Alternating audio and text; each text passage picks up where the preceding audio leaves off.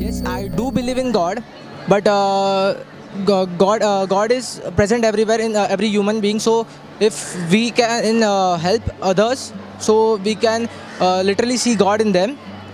Uh, yes, I believe in God because there are instances where you cannot define what science is, and many of those inst- you basically don't have any idea or any explanation for some particular events which you know happen everywhere around the world. So I think God exists and He created the universe, but science has an equal, you know, Uh, yes, I do.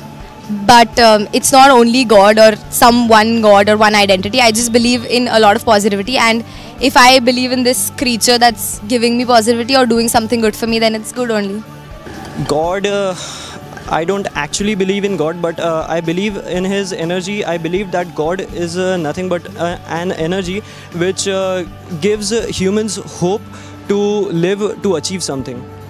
Um, yes, I believe in God because there are many things like I pray and I get it. Sometimes I don't deserve, like I don't get what I pray, but almost every time I'm just getting. So I just believe in God. is like I believe in karma. no, I don't believe in God because I don't. I don't think there's no negativity, there's no positivity in this world. Yeah, I think I oh like I believe in destiny. Like whatever happens is written somewhere or you know. uh, in terms of god no actually i don't believe in one particular one particular god I mean, sorry different gods i just feel there is an energy which is there to motivate me nothing else Yeah, that's a belief created by our forefathers or parents that like once we pray something may come up out of it. So we go for it. That's it. God. Yes, कोई ना कोई उम्मीद तो रहनी चाहिए जिंदगी में Yeah, I do because today what I, whatever I am till now, it has God has been a backbone. I can't say that I believe, but I have a kind of faith, a reliance, a calmness that He provides me and all this stuff. From the survey that we carried out, we could categorize people into five groups based on the degree of their belief in God. A strong theist is a person who is literally 100% sure of God's existence. An agnostic theist is someone who is not 100% sure but is more inclined towards believing in God's existence.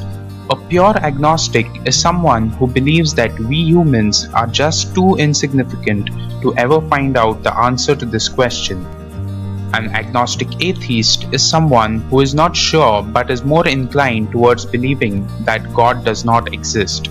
While a strong atheist is someone who is 100% confident that God does not exist. So ask yourself where would you place yourself on the scale? Let's check out our survey result, which was answered by 50 random people from the city. As you can see, more than 50% of the people are actually agnostic theists who are not really sure but are more inclined towards believing in God. We further asked them, Is God a man or a woman? To which most of the people answered that God has no gender.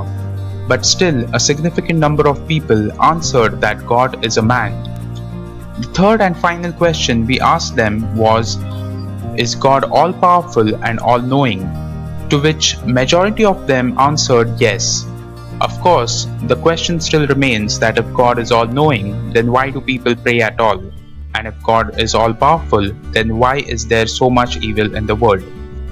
In the coming segments, we shall be examining more logical arguments in favor of God's existence as well as against God's existence. Tell us your views in the comment section below. Also, if you wish to remain updated with our upcoming videos, do click on the subscribe button. You can also follow us on Facebook and Twitter. Thank you for watching.